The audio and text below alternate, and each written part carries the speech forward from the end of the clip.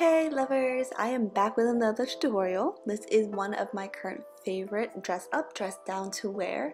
I love these pearl clip. It's great for bridal and a simple day out. You've seen Lily worn in a lot of her new video as well as her Instagram. It's really up to you to style it. I made so many of these that I'll be giving away a full set of five to two lucky winner. So keep watching to learn how to make them or how to win them. If you haven't watched my last DIY, I've added to the recommended list at the top right hand corner. Click on it enjoy or just keep watching this video. I'm pretty sure I've also linked it at the end. Everything was purchased on Amazon as well as Michael Art and Craft Store. I'll link where I got the stuff down below. Once again, this video will only make sense if you've already watched my Karen Wolf Inspire bridal crown tutorial. It would make it, well, easier to understand. I am once again using the clear fishing line invisible thread. They are durable but a bit hard to work with. The pearl I choose are in the size of 8mm to 35mm. For more info, click on the read more in the description. This way you can understand what size I use for all of these strand of pre-made pearls. For the biggest hair clip, I am using three different size pearls the first biggest size being 35 millimeter, the second being 25 millimeter, and the third being 20 millimeter. This is how it looked like once I stringed them all together. It's quite simple. After stringing them together, I just loop the main smallest pearl onto this whole area and I kind of tighten it down that way.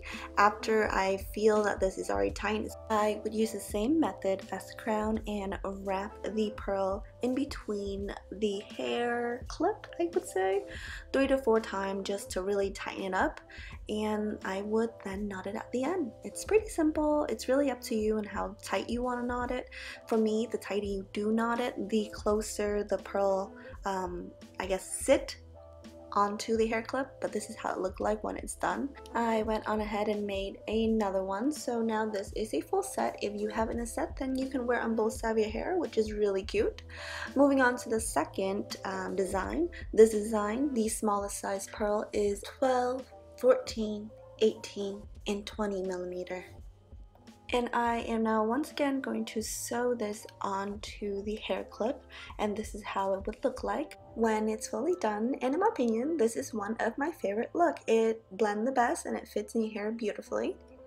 And we would once again have to knot the first knot where the holes are and you want to make sure you knot it well so do it once or twice and then start the wrap process Another method on making sure the pearls stay on is you want to loop after you wrap to the next pearl. So go through the hole again one more time. This way you have a tighter or closer fit from the pearl to the hair clip. Before moving on to the next pearl I make sure I wrap two to three times since they are quite small in pearl size. And then I would once again push the needle through to the next pearl this step will continue to repeat till you get to the end of this hair clip.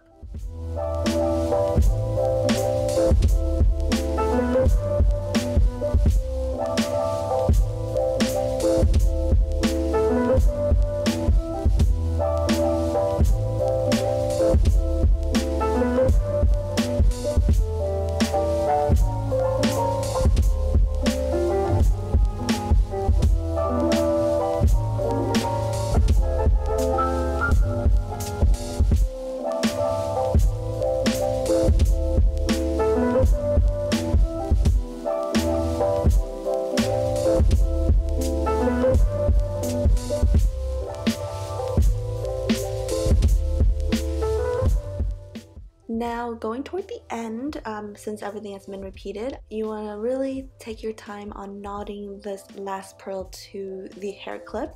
After you are done or satisfied or the pearl feel really tight, it doesn't move around the clip anymore, you can go ahead and click off the excess in string and it's ready to be used. For this particular clip, I only used two different type of pearl, one in size 18, the other in 20. So the 32 side are 18, and the one in the middle is 20. As you see, the biggest size in the middle is going down smaller and smaller. I'm now going to sew this strand of bead onto the hair clip. This is very similar to the last clip. I'm going to kind of show you the difference between the two. The first one on top is what I just showed you to make. The one below is the one that I showed you how to make before. As you can see, both versions look amazing. The next hair clip, you'll need three different size pearl, the smallest being 10, the second two pearl to the smallest pearl is 12 and then the 3 in the middle is 14 and obviously you don't even need the 10 millimeter pearl at the end because it will look fine without the super small pearl. But you know for me I like that longer curve. It looks fancier when you put it onto the hair. So yeah that's just preference. You can take away those two smallest pearl. For pearls of these size or 18 millimeter or shorter you don't have to wrap it around too many times once is already good enough especially when you're gonna go back in them with the needle to help tighten them to the clear clip. A matter of fact you don't even need to go backward into them through the needle. It's really up to you and what time you have. Right now I'm just going to get lazy and wrap this onto the hair clip. It honestly will stay on just fine I have even accidentally tossed them into the wash and they survived the wash so I'm telling you one or two wrap around with these smaller pearls will help it stay in place. As we get to the end, you do want to make sure this have a great flat lay, so do go through the bead, um, you know, that's my recommendation, do go through, just help it from shifting, and then not at the end and you're done.